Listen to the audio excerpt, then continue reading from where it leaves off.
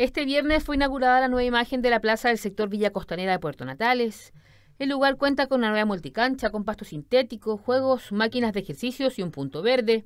Una tarde especial, una tarde donde los vecinos y vecinas del sector Villa Costanera de la Junta número 7, a través de su directiva, de los niños y niñas, de las familias que hoy día están aquí presentes en este espacio ciudadano tan importante para el desarrollo de su barrio, podemos inaugurar y concretar un proyecto que fue una iniciativa de la directiva, de su presidenta, doña Vanessa, y también eh, un compromiso de quienes asumimos la gestión municipal el 2021, el año 2022.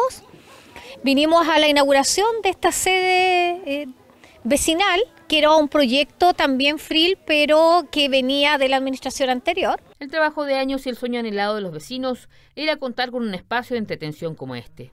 Nos sentimos muy contentos hoy, nos, sentimos muy contentos porque hoy, hoy ha sido un día espectacular, el día nos ha acompañado. Eh, estamos muy felices como directiva por este proyecto. Este proyecto ha sido eh, de muchos años para poder llegar hoy, hoy como estamos. Eh, yo me siento contenta como presidenta, esta es mi última gestión. Eh, mi última inauguración, así que ya el próximo año yo no voy a estar, pero esto van a ser los recuerdos que va a quedar de la directiva. Me pareció genial porque antes había una tierra, los niños se caían y los parques lo, había un poco juego y tenía como de fierro y los niños así estaban. ¿Y ahora cómo lo encuentras? Lo encuentro bien, bien. ¿Qué te gustó? Me gustó la cancha. ¿Sí? Y los juegos de allá. ¿Ahora puedes venir a jugar a la pelota bien? Sí, porque yo vivo como por allá, pero yo vengo acá a disfrutar. Hacía falta una renovación de, la cancha y del parque, porque ya estaba hace muchos años ya deteriorado y no había habido mejoramiento, ¿ya? Y era muy peligroso para los niños eh, venir a jugar, ¿ya?